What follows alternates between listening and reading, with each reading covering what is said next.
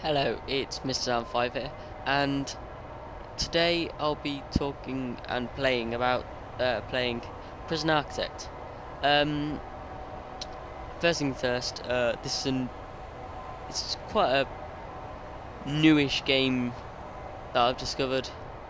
I discovered it about six months ago. I've been watching a lot of videos on it and uh, seeing what what new features are coming out on them. So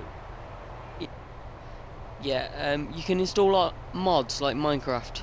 Um, so there's one that you can get better grants. Um, here's some of the grants here.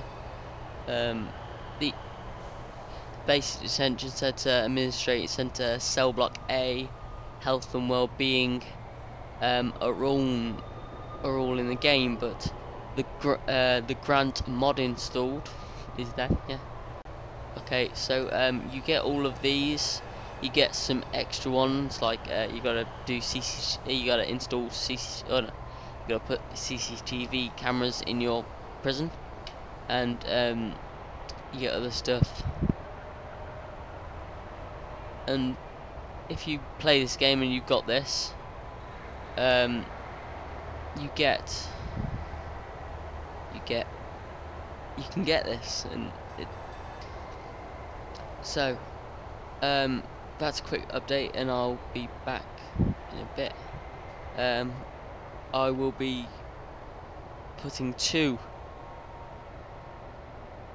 episodes of uh, Prison Architects up today and then some in the future. It, this one's just about the mods. I'll put the mod uh, how to download it and just and how to how to install it on them in the so yeah uh, you if you if you like this game download it. I downloaded this from Steam. Um, okay. That's me out